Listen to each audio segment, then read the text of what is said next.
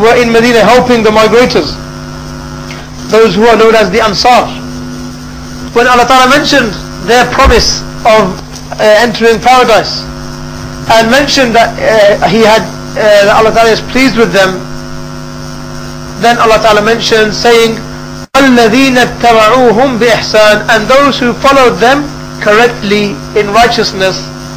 So the Shaykh says, so as for the hypocrites that lived amongst the Prophet ﷺ and those that and the, the, the days after, as for those the rebels, the Kharijites, the Khawarij who lived in that era, are they considered to be only for, for the fact that for the token that they lived in those first three generations?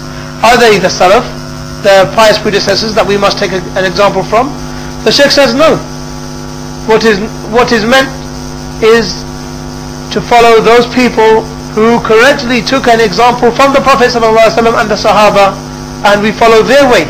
And this is the reason why Allah Ta'ala said in this verse, adding the word bi-ihsan, correctly, righteously, following them correctly and righteously.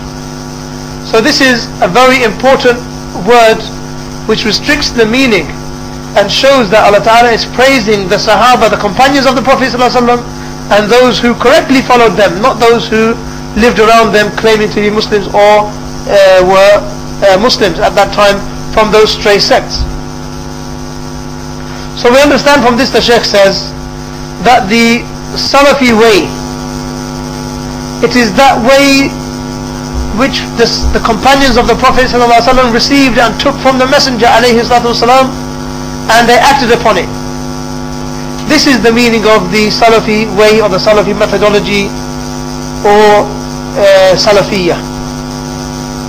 And then after that, those people who came after the Sahaba, they took that message and that methodology and that way from the Sahaba and they acted upon it. This is the way of the Salaf that we are talking about. So whoever says that this path of the Salafis is a new, innovative path, then this is wrong. Indeed, Salafiyah is none other than the revelation sent down by Allah Ta'ala to the Messenger Sallallahu Alaihi Wasallam, the book of Allah and the Sunnah of the Messenger Sallallahu Alaihi Wasallam. So the Salafis therefore are not a, a partisan group. Rather they are the followers of the Messenger Sallallahu Alaihi Wasallam and the followers of his companions. This was the uh, where the Sheikh stopped and then I asked the Sheikh one or two questions and the Sheikh says the first question was with regards to Muslims who uh, live in non-Muslim lands. What should their behavior be even though they uh, haven't physically signed any contract themselves but their presence in these lands, what does it necessitate? The Sheikh says that the Prophet Muhammad lived amongst the people of falsehood for 13 years in Mecca and they tortured him and they behaved very badly towards him until Allah Ta'ala gave him permission to migrate. So some of the companions migrated and then the Prophet ﷺ migrated. And when he went as a, uh, an emigrant to Medina, the Jews were already living there and established there. So the Prophet ﷺ and the Jews, they drew up contracts of peace that they would live side by side, fulfilling those contracts and not breaking those contracts.